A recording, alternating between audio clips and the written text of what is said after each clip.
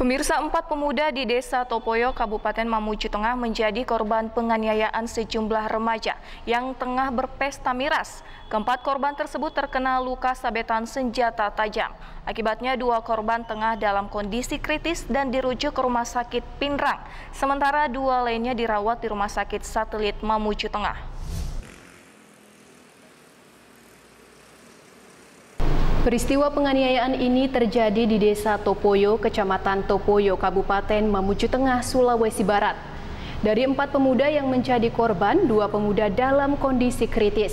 Sementara dua lainnya dirawat di Rumah Sakit Satelit Mamuju Tengah akibat terkena sebetan sajam oleh sejumlah pemuda dan remaja saat sedang berpesta miras jenis tua di sebuah kafe. Dua korban yang kritis, Angga dengan Anwar, langsung dirujuk ke Rumah Sakit Pindrang untuk dilakukan penanganan medis karena luka serius yang dialaminya.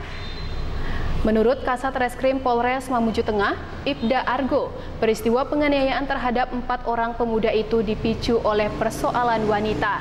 Akibatnya enam pelaku, dua di antaranya masih di bawah umur, yang emosi dan dalam pengaruh miras langsung melakukan penganiayaan terhadap empat pemuda tersebut. Saya selaku Kasat Reskrim Mamuju Tengah mau menjelaskan terkait tindak pidana yang terjadi pada malam Selasa pada kurang lebih pukul 11 kurang 10.30 malam yang terjadi adalah tindak pidana pidana penganiayaan yang mengakibatkan luka berat.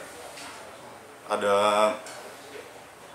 pelaku ada lima orang, enam orang, lima yang sudah kami amankan, dua, dua orang yang di bawah umur, satu dalam pencarian.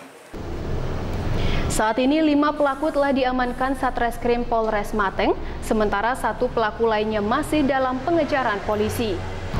Para pelaku dikenakan pasal 170 ayat 1 dan 2 dan 351 ayat 1 Junto 55 KUHP dengan ancaman hukuman 7 tahun penjara.